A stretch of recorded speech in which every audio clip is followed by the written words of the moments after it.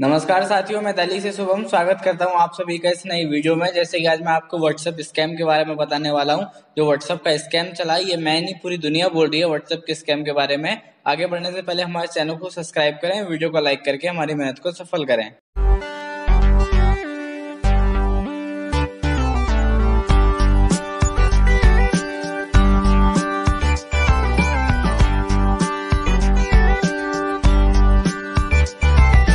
तो गाइस पहले मैं आपको ये चीज़ बता देता हूँ कि ये जो स्कैम है, किस प्रकार का है, कैसे होता है। गाइस ये एक ऐसा चीज़ है, आपको व्हाट्सएप पे किसी भी रैंडम नंबर से कॉल आएगा और आप उसे रिसीव ना करें। मैं आपको पहले बता दे रहा हूँ, अगर आपके यार, किसी दोस्त या फैमिली मेंबर का फ़ोन है तो आपको पता होगा वो नंबर अगर आता भी अगर आपके फैमिली मेंबर का भी है तो आप एक बार उसे कट कर दो, जाके देखो भाई हाँ भाई, कौन है, नहीं है, तब जाके उसका रिसीव करो। अब मैं आपको बताता हूँ, जो फ्रॉड है, ये स्कैम जो है, वो किस तरीके से काम करता है। आप गए जैसे कि किसी भी रैंडम नंबर से कॉल आया, आपने रिसीव कर लिया अब वो आपका कुछ आपको दिखेगा नहीं, एकदम ब्लैंक स्क्रीन दिखेगा। उसके बाद क्या होगा, आपकी स्क्रीन रिकॉर्डर या स्क्रीन आपको दिखाए जाएँगे।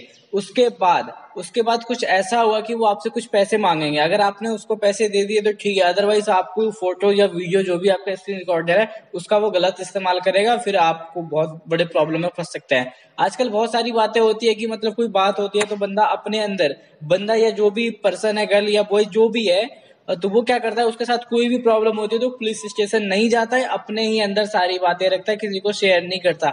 लेकिन गाइस अगर आपके साथ ऐसा कुछ होता है तो आपको सबसे पहले पुलिस को रिपोर्ट करना चाहिए। अगर आप पुलिस को रिपोर्ट नहीं करते हैं तो इसमें अगर आपके खिलाफ कोई कुछ एक्शन लेता है तो आप ही फंसेंगे। क्योंकि आपने, जब आपको पता था कि आपके साथ ऐसा मिसबिहेव या गलत हुआ है तो आपको रिपोर्ट देनी चाहिए थी। इसलिए ये सब बात की बातें हैं। प्लीज़ मैं ना चाहूँगा कि आप में से किसी के साथ ऐसा स्कैम या फ्रॉड हो इसलिए आप ऐसा फ़ोन ना उठाए। अब ये व्हाट्सएप से ही क्यों? फेसबुक इंस्टाग्राम से भी हो सकता है। अब मान के चलिए, ठीक है, आपने देखा यहाँ पे?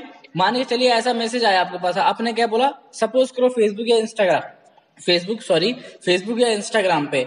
अब फेसबुक या इंस्टाग्राम पे मैसेज आ गया। आपने देखा, भाई डीपी लगी है, दो तीन फ़ोटो पोस्ट है रियल होगा। अरे यार, क्यों रियल होगा?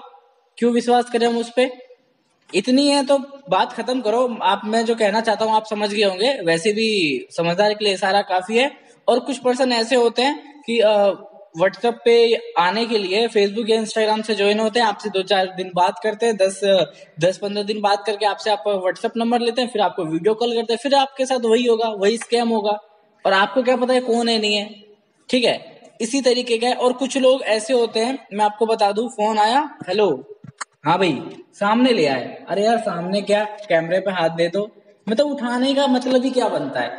अगर आपको जानते हो नहीं भाई, ये मेरे जान पहचान का नंबर है, फिर तो चलता है। फिर भी मैं आपसे कहना चाहूँगा कि ना उठाएँ, कट कर दें। पहले उस नंबर के बारे में पता लगाए। एक छोटी सी ऐप होगी, पचास से साठ एमबी का ट्रू कॉलर इंस्टॉल कर लो, उससे पता चल जाता है। थोड़ा बहुत तो हिंट आपको मिल ही जाएगा। बस, आज के लिए इतना ही। फिर मिलता हूँ हमसे किसी अगले वीडियो में। तब तक के लिए टेक केयर बाय बाय